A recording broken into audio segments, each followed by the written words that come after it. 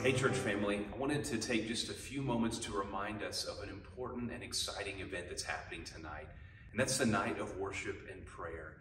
As you may know, for the last several years, before the National Day of Prayer, uh, we gather that Wednesday night before to pray and to worship as a church. And we're going to pray for our nation and all kinds of things that are going on just in our world right now. And so I want to invite you, that happens tonight at 6.30 p.m. in our worship center.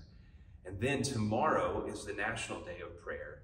And in our choir room, which is right off of the entrance by our staff offices, uh, we're going to have this room open all day tomorrow for, for just prayer anytime that you want to come in. If you have a lunch break, if you want to come in the morning or the afternoon during those kind of normal working hours, this room will be open for anyone who wants to come and just have a place to pray for our nation.